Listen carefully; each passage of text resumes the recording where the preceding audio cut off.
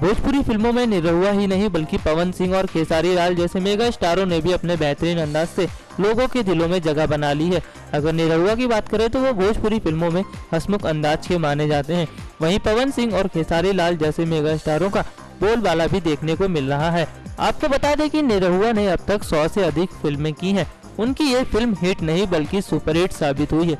लोग उनके एक्शन अवतार के ही नहीं, बल्कि उनके रोमांस के अंदाज को भी देखकर उनके दीवाने बन गए हैं। इस मेगा स्टार की एक झलक पाने के लिए उनके फ़ैन उनका बेसब्री से इंतज़ार करते हैं। वहीं खेसारी लाल और पवन सिंह भी अपने एक्शन अंदाज के लिए जाने जाते हैं।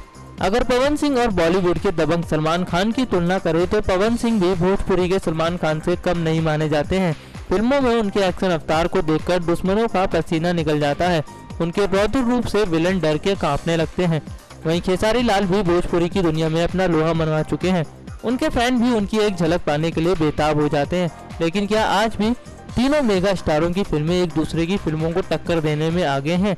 ये तो उनकी आने वाली फ़िल्म से ही पता चल पाएगा। नेक्स्ट नाइन न्यूज़ रूम की ओर से राहुल की रिपोर्ट।